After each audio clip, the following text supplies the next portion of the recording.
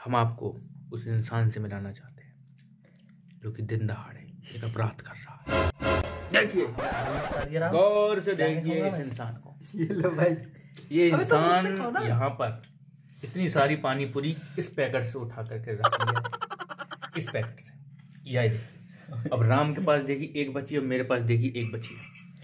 तो मतलब मैं जानना चाहता हूँ इस शख्स से कि ये ऊपर से गल करो इंसान है कि जानवर है? इंसान है। इनने पहले ही निपटा लिए हैं। ये देखिए आरोप पे आरोप आरोप पर आरोप। और आप देखिए किसके पास ज़्यादा है। कब तक ये आरोप लगते रहेंगे? कब तक हम सहते रहेंगे? आप कब तक? जब तक है जान जब तक है जान। अब